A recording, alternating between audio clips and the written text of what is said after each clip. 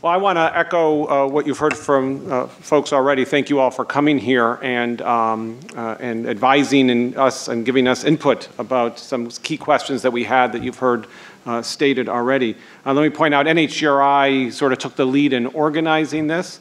Um, but by no means is this really a workshop for us, as you're going to see in some of the things I'm going to show. This is really something that has become of great interest to NIH, um, but we were certainly willing, uh, for reasons I will explain in a minute, to take the lead in trying to see this um, workshop become organized. I, think really what Francis pointed out uh, about the, this inventory of something on the order of 65,000 genomes to be sequenced or exomes to be sequenced in really the next uh, short period of time the, of course, all of you are recognize that the reason this has all become possible, of course, is because this precipitous drop in the cost of DNA sequencing shown here, this uh, iconic graph that we show frequently for the data that we've collected for our, our three largest sequencing centers, but I think it's emblematic of the state of the art uh, with respect to the field of, of genome sequencing. We obviously have as our, as NHGRI's flagship effort in our extramural research program, our genome sequencing program, which we renewed last year. And um, while it has uh, several new components of it that capitalize on new opportunities created by the reductions in the cost for genome sequencing, um, nonetheless, it still has in place as the major component of that program our large-scale uh, genome sequencing centers at Baylor and at Broad Institute and at Washington University. And, and shortly uh, this evening, you're going to hear from Rick Wilson, who directs the, the, the Genome Institute at Washington University. So we, of course, are thinking critically about how to capitalize on this prodigious amount of sequencing capacity just in these three centers alone and institutes uh, alone. But the fact of the matter is there's others that we support, and there's, of course, others uh, that, um, that we're very interested in as well. And just recognizing that capacity, we want to deploy that capacity in the most effective way possible for our specific scientific objectives. That said, we're not the only ones, of course, who are thinking about this. And the reason for it, of course, is that these technologies are just resulting in a massive dissemination uh, with respect to genome sequencing capabilities. It is not just NHGRI leading the way with respect to having the, the bulk of the sequencing uh, funding that's going on, but rather um, uh, the reason you see these tables around this room filled with um, individuals from other institutes is because virtually all the NIH institutes are getting involved in this and using these same technologies for doing genome sequencing for their studies. If you actually want to see some real data for that, to put it in context, and to also show you the trend, if you just do um, in fiscal year 11, query the database of NIH grants, and if you use the key term genome sequencing, um, it's very interesting what it reveals, and especially if you can do a similar query over several years. So this is just some real data to indicate it. In blue is money that, um, this is in dollars, millions of dollars. Um, blue is Genome Institute, red is everybody else at NIH, all the other institutes. If you go back as recently as 2005, 2006, you can see that 68 or 70% or so of all grants given out keyword genome sequencing would have been NHGRI grants.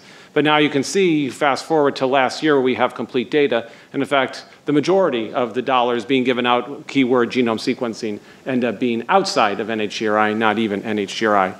You can also follow this for grant numbers. This is a little deceiving because, of course, we give out a handful of very large grants. But nonetheless, the trend is pretty clear that just in terms of total grant numbers, where once upon a time we were hovering around a quarter of all the grants um, that would carry the keyword genome sequence. You can see a considerable drop off in 2011. Um, uh, with a much larger number of grants uh, going uh, given out by other institutes. This is actually a good thing. I don't want to portray this as anything but a good thing. It's the dissemination of genomic capabilities across other NIH institutes.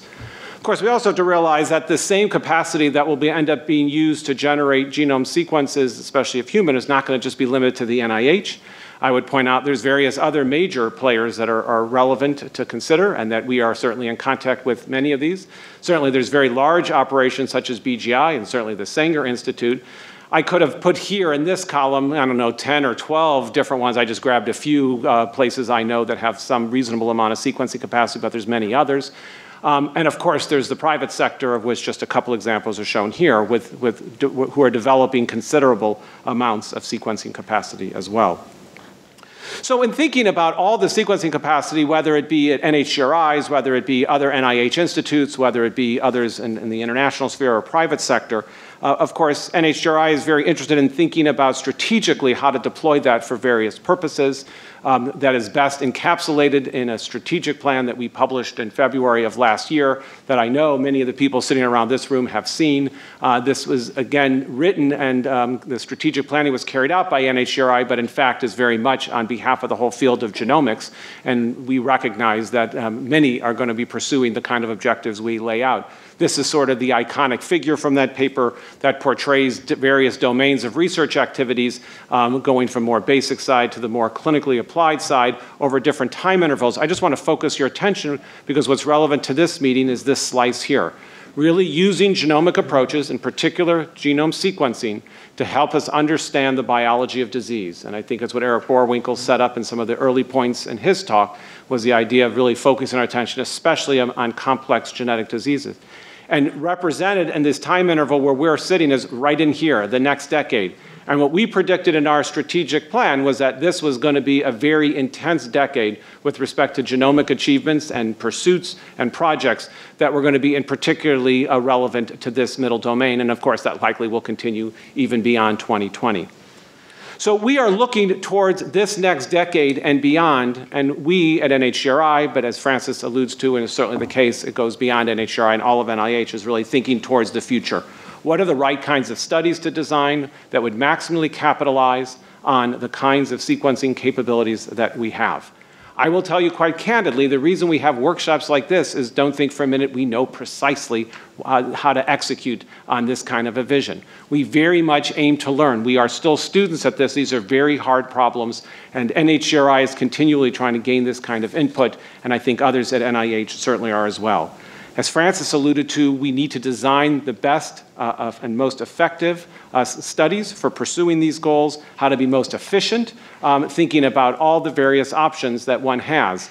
And so, as Eric Boerwinkle nicely laid out, there are many issues and there are many questions, and they're just sort of shown here. He actually went through many of them bullet by bullet, but we're going to come back to these over and over again um, throughout this workshop to try to see, as we are trying to learn, what we can come to conclusions with respect to the trade offs and the various issues that we need to try to address and to try to answer these fundamental questions that will help guide the design of some of these future studies. So, once again, this is sort of a backdrop for why we are here, and we're really eager to, to discuss, debate, strategize, and hopefully try to answer these questions. So, with that, I will stop. And Terry, do I turn this over to someone, or you're going to take over? Eric. Or Eric's going to take over? Excellent. Thank you.